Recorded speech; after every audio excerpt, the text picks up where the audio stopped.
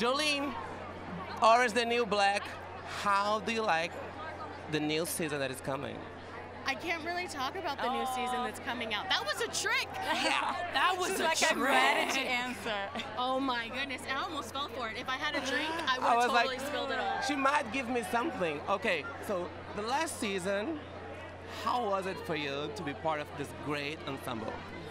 I was pregnant and I was trying to hide it because in Hollywood, when you're pregnant, you don't talk about it because people are afraid of the repercussions of a working woman who's about to be a mother.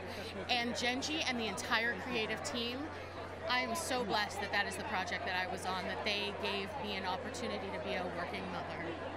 How's your kid right now?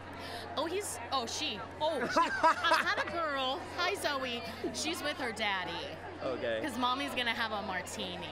So being pregnant Good. last season and having people embracing your situation, that is the best thing that could happen to you. One off. Yes. Uh, how, how is it for you, like, to be part of this movement, like to see this move, movement of uh, fighting for equality in Hollywood? How important is this? These women are fighting and they're fighting hard. They're on the front lines. Yesterday, the march.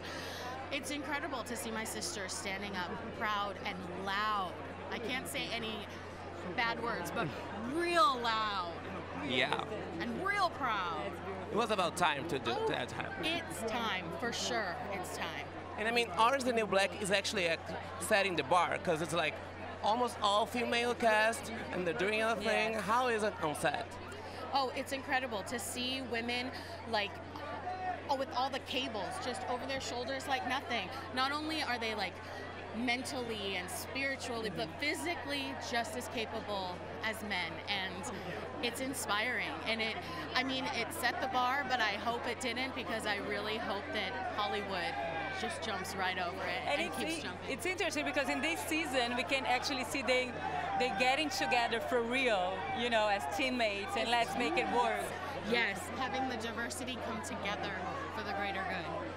That's good. Thank you so much. Thank you. Have a great night. Thank you. yeah. Bye.